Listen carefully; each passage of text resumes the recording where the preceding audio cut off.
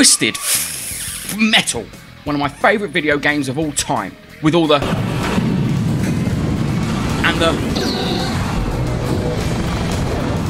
and the. Ah, I'm almost dead. Gotta get to a health station. Gotta get to a health station. Gotta get to a health station. now! It's so good. Even now, after 25 years, it hasn't aged a day. Now, when I think PlayStation, I think about two things. Christmas 96, when I got the console, Oh, that's what. You're joking me. And the day I first encountered Twisted Metal. My dad took me to the local video game shop that we called Sally's. We called it that because, well, Sally owned it. and at the back of Sally's shop sat Sally's son playing video games. He was older than me, he was cooler than me, and he was always playing the latest and greatest games. And on this fateful day, he handed me the controller and said, Try this. And there, bathed in the glow of the CRT at the back of Sally's, I played Twisted Metal for the first time. What I loved most about Twisted Metal was how easy it was to just pick up and play and start having fun. You didn't need this adjustment period like you did for other games at the time.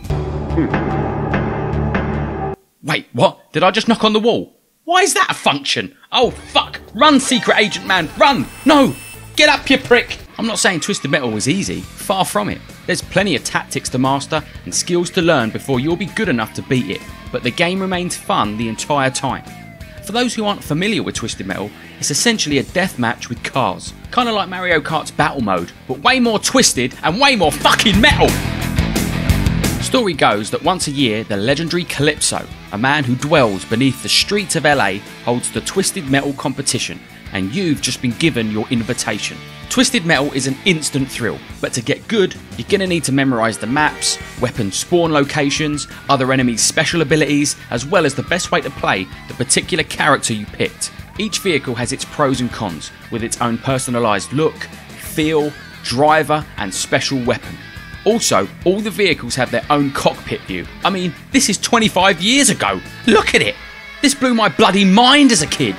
Everyone had their own favourite Twisted Metal character back in the day. My favourite was Mr. Grimm. Though he was the weakest when it came to overall health, he had the most powerful special in the game and was the hardest to hit. But I didn't care about any of that. I just wanted to pretend I was the Terminator.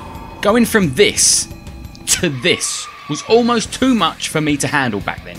I'm not going to talk about the entire series because I'd be here all day long. And I don't think I need to because the very thing that makes Twisted Metal so special can be traced back to the original game. It's well balanced, controls fantastically, has a varied selection of vehicles driven by cool characters, all with their own backstories and separate endings. The graphics are dark, gritty, with awesome sound effects and music. And from a gameplay perspective, this 25 year old game holds up unbelievably well. Which brings me to my final point. Why hasn't it been rebooted yet? The PlayStation 4 was the first PlayStation console to not have its own Twisted Metal game. Next year, it will have been 10 years since the last Twisted Metal. And with no news of a new one coming to the PlayStation 5, I thought it was time I spoke up. Not that anyone's going to see this video, but at least I tried. And over the last 10 years, gaming has been turned upside down, with single player games taking a back seat, with online multiplayer taking the spotlight, giving rise to the whole streaming and esports boom. So doesn't now seem like the perfect time for Twisted Metal to make a comeback? I mean, this piece of shit blew up last year, jumping jelly bean men. Well, I'm out, guys. This is what's cool now. I think I'm done.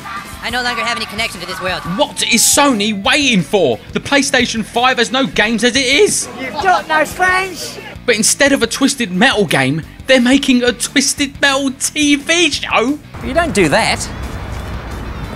That's crazy. Does Sony know that this isn't a TV show machine? Twisted Metal doesn't need the PlayStation 5. The PlayStation 5 needs Twisted Metal. As long as the remake is given the care and attention to detail it deserves, everyone will be a winner. Gamers will get a ridiculously fun, seriously addictive game that is as entertaining to watch as it is to play, and Sony can charge us up the arse for skins and shit. anyway, thanks for watching. I've been the Tominator, and you've just clicked to reboot Twisted Metal. Hasta la vista.